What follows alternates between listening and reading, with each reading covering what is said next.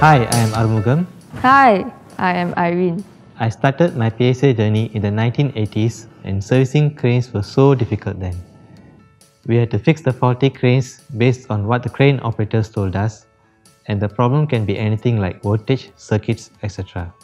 So we had to guess, evaluate and fix the problems on a trial and error basis every single time. When I first joined PSA, I was very impressed by the Crane Management System, CMS. This system allows us to access any crane's data from the office. It even provides full visual representation and animation of the equipment in motion. So now, we can trace a crane's history log, track any possible source of breakdown and intervene before it happens. Actually, we already had the CMS in the late 80s, but due to limitations in the technology then, we still had to go to each crane for data readings and these data are in text and code forms.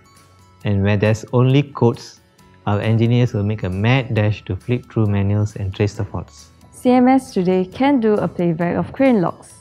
These playbacks allows us to revisit the operational conditions that led to the breakdowns for post-event investigation.